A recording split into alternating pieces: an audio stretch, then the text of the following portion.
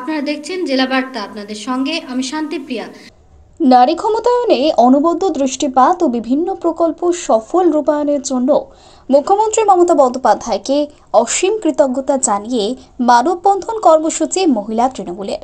সোমবার সারা রাজ্যের সঙ্গে বাঁকুড়ার জয়পুরেও এই কর্মসূচিতে অংশ নিলেন ওই দলের নেতাকর্মীরা। এদিন উপস্থিত বিষ্ণুপুর সাংগঠনিক জেলা তৃণমূল সভাপতি বিক্রমজিৎ ভট্টাচার্য বলেন, আমাদের দলের বিরুদ্ধে লাগাতার অপপ্রচার চলছে। তার বিরুদ্ধে রাজ্য জুড়ে একশো পঁচাত্তর কিলোমিটার মানববন্ধন কর্মসূচির ডাক দেওয়া হয়েছিল। তীব্র রোদ উপেক্ষা করে মানুষ এই কর্মসূচিতে যোগ দিয়ে সমালোচকদের মুখে ঝামা ঘষে দিয়েছে বলে তিনি দাবি করেন। বিষ্ণুপুর সাংগঠনিক জেলা মহিলা তৃণমূল সভানেত্রী সঙ্গীতা মালিক বলেন, আমার হাত তোমার হাতে। আমরা সবাই দিদির সাথে। স্লোগানকে সামনে রেখে ও দিদিকে কৃতজ্ঞতা জানিয়ে মানববন্ধন কর্মসূচিতে যোগ দিলাম। এদিন এই কর্মসূচিতে চার হাজার মহিলা অংশ নিয়েছিলেন বলে তিনি দাবি করেন। জানেন আমাদের প্রিয় মুখ্যমন্ত্রী মমতা বন্দ্যোপাধ্যায়ের দেওয়া মানববন্ধন কর্মসূচি। যে কর্মসূচি আমার হাত তোমার হাতে আমরা সবাই দিদির হাতে দিদিকে কৃতজ্ঞতা জানানোর জন্যই আমাদের আজকে এই কর্মসূচি। প্রায় চার হাজার মহিলা ছিল এবং আমরা জয়পুর ব্লকের বনলতা যে রিসোর্ট আছে তার আগেটা থেকে শুরু করেছিলাম। জয়পুর টাউন পেরিয়ে আরও দূরে চলে গেছিল আপনারা দেখেছেন। তো মহিলারা সবাই এসেছিল। বিষ্ণুপুর সাংগঠনিক জেলা মহিলা তৃণমূল কংগ্রেসের পক্ষ থেকে প্রত্যেকটি ব্লক থেকে মহিলারা এসেছিল। বেশি জয়পুর ব্লক থেকে যেহেতু হয়েছে এখানকার মহিলারা আরও বেশি ছিল।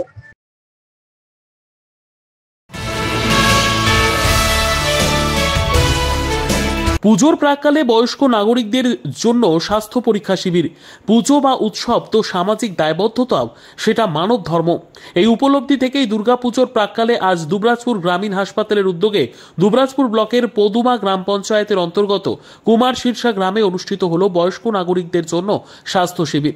এই গ্রামের বয়স্ক নাগরিকরা গ্রামে বসেই সমস্ত ধরনের চিকিৎসা পরিষেবা পান। পুজোর দিনগুলোতে তারা যেন সুস্থ থাকেন, তাই পুজোর প্রাককালে তাদের স্বাস্থ্য পরীক্ষা করা হয়।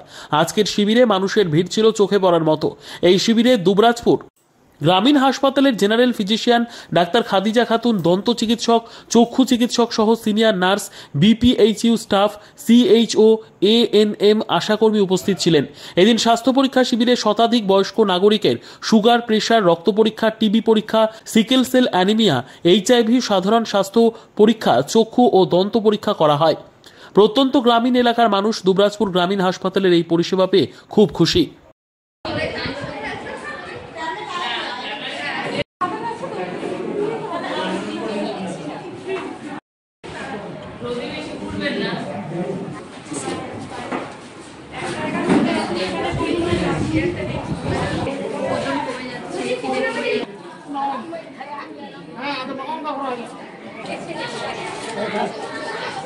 ちょっとね。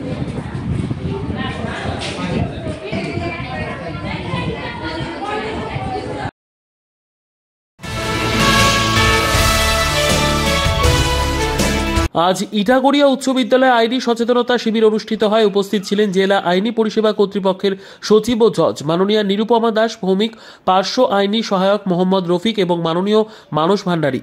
বিষয় বাল্যবিবাহ, নারী পাচার শিশুশ্রম সাইবার ক্রাইম ইত্যাদি।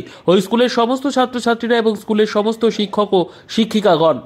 প্রোগ্রাম শেষ হয় প্রশ্ন উত্তর মাধ্যমে। সঠিক প্রশ্নদাতাদের পুরস্কৃত করা হয়। পুরস্কার ছাত্রছাত্রীদের হাতে তুলে দেন মাননীয় জজ ম্যাডাম নিজেই কাজ। আমার মাও কোনো চাকরি বাকরি করতেন না কিন্তু আমার মা আমাকে ভালোভাবে মানুষ করেছে তাই আজকে আমি তোমাদের কাছে এসে বলতে পারছি এগুলো আমার মায়ের অনেক অবদান আছে আমার বাবা চাকরি করতেন আমার মা হাউস ওয়াইফ ছিলেন হোম মেকার যেটাকে আজকের দিনে বলে এখন তার হাউস ওয়াইফ বলে না হোম মেকার বলে তোমরা নিষ্খরচায় এই পর্যন্ত পড়তে পারবে। কেন তোমরা পড়বে না? সরকার তোমাদের জন্য বই, খাতা, ব্যাগ, সমস্ত কিছু দিচ্ছে। এমনকি তোমার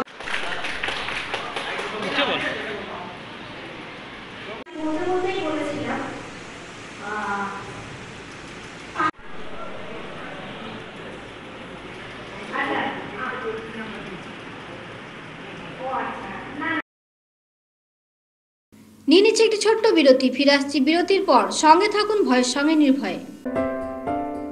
সিউড়িতে অত্যাধুনিক চিকিৎসা পরিষেবা নিয়ে এলো সৃজন পলিক্লিনিক। ওষুধের দোকান সহ অত্যাধুনিক মানের প্যাথোল্যাব, কম্পিউটার তথা অত্যাধুনিক মেশিনে রক্ত, মল, মূত্র ও থাইরয়েড পরীক্ষার সঙ্গে এখানে রয়েছে বিশিষ্ট চিকিৎসকদের বসার চেম্বার। রোগীদের স্বাচ্ছন্দ্যের কথা ভেবে সম্পূর্ণরূপে এসি নিয়ন্ত্রিত সৃজন পলিক্লিনিকে রয়েছে বসার সুবন্দোবস্ত, বিশুদ্ধ পানীয় জল ও টয়লেটের ব্যবস্থা। এখানে বসছেন সিউড়ি সদর হাসপাতালের বিশেষজ্ঞ চিকিৎসক সহ অন্যান্য শহর ও হাসপাতালের বিশিষ্ট চিকিৎসকরা। সৃজন পলিক্লিনিক ও প্যাথোল্যাব সিউড়ি, বীরভূম, সিউড়ি সদর হাসপাতালের পাশে ফাঁড়ি ঘরের উল্টো দিকে। Mobile number eight three seven three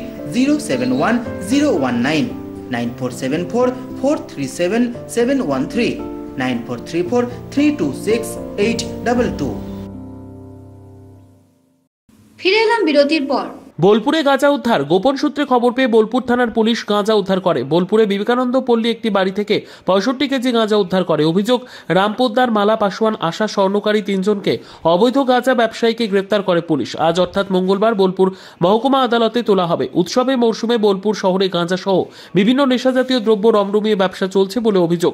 সেই কারণে বোলপুর শহরে চলছে ব্যাপক তল্লাশি আর সেই তল্লাশির জেরেই পুলিশের এই সাফল্য। কাজী আমিরুল ইসলামের রিপোর্ট।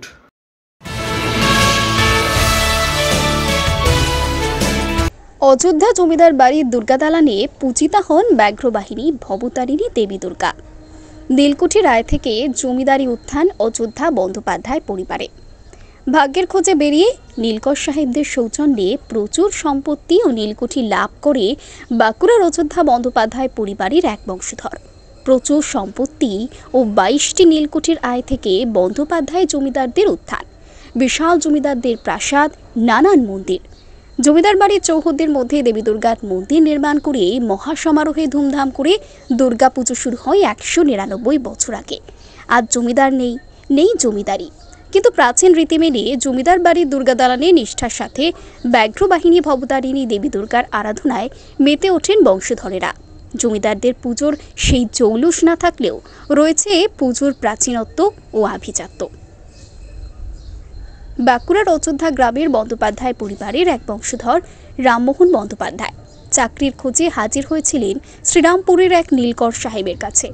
ওই নীলকর সাহেবের কাছে প্রথমে কেরানির চাকরি জোগাড় করেন তিনি। পরে কাজের দক্ষতায় পরিচয় দিয়ে কেরানি থেকে বিশ্বস্ত হয়ে তাকে দেওয়ান পদে নিযুক্ত করে নীলকর সাহেবরা। পরবর্তীকালে ওই নীলকর সাহেব তার সম্পত্তির অর্ধেক ও বাইশটি নীলকুঠি দান করে দেন রামমোহনকে। বাঁকুড়া জেলায় বিভিন্ন প্রান্তে বাইশটি নীলকুঠি ও প্রচুর সম্পত্তি হাতে পেয়ে বাঁকুড়ার অযোধ্যা গ্রামে জমিদারির সূচনা হয় বন্দ্যোপাধ্যায় তথা বাবু পরিবারের শোনা যায়, এই বন্দ্যোপাধ্যায়ের অধীনে ছিল পঁচাশিটি মৌজা। তবে নীলকর সাহেবদের মতো বন্দ্যোপাধ্যায় পরিবার কখনো জোর করে চাষিদের নীল চাষে বাধ্য করতো না। করা হতো না অত্যাচারও। জমিদারির বিপুল আয়ে সে সময় অযোধ্যা গ্রামে প্রতিষ্ঠিত হয় বিশাল জমিদার বাড়ি ও দেবোত্তর এস্টেট। জমিদার চৌহদ্দির মধ্যে দ্বাদশ শিব মন্দির গিরি গোবর্ধন মন্দির, রাস মন্দির, বিষ্ণু মন্দির, ঝুলন মন্দির ও দুর্গা মন্দির প্রতিষ্ঠা করে শুরু হয় দুর্গাপূজা এখানে দেবীর সিংহ বাহিনী নয়, ব্যাঘ্র বাহিনী। প্রতিমাতেও বিশেষ নজর কাড়া সাবেকিয়ানা রয়েছে। এখানে দেবীর মুখ ছাঁচে নয়, বংশ পরম্পরা প্রতিমা শিল্পী এখানে হাতে তৈরি করেন দেবীর মুখ। জিতা অষ্টমীর পরের দিন থেকে শুরু হয়ে যায় জমিদার বাড়ির দুর্গাপূজা পুজোর সময় রূপোর পালকি নিয়ে পরিবারের মহিলারা দেবী দুর্গাকে বরণ করে নেন পুজোর কদিন দেবী দুর্গার ভোগ প্রসাদ নিবেদন করা হয় রূপোর থালায়। আর জমিদারি না থাকায় সেই জৌলস কিছুটা কমেছে ঠিকই। কিন্তু আজও দেবীর পুজোয় নিষ্ঠার ঘাটতি নেই বন্দ্যোপাধ্যায় পরিবারে, যা অক্ষরে অক্ষরে পালন করে চলেছে বন্দ্যোপাধ্যায় পরিবারের বংশধরেরা।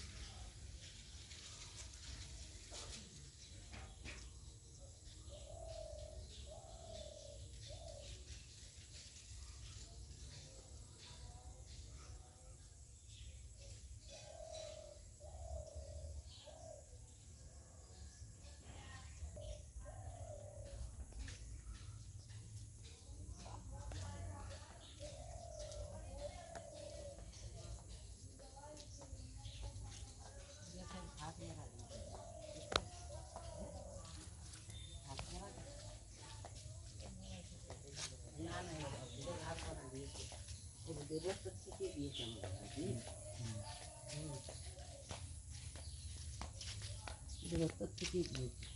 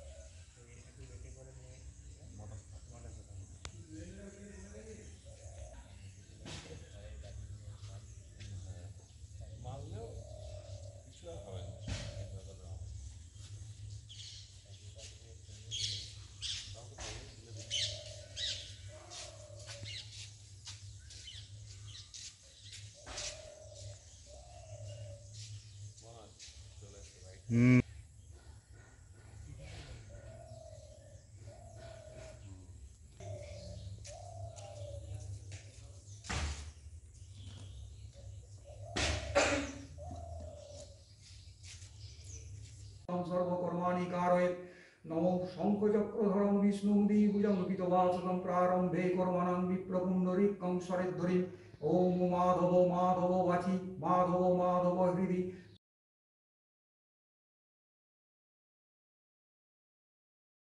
আজকে জেলা বার্তা এই পর্যন্তই। নমস্কার।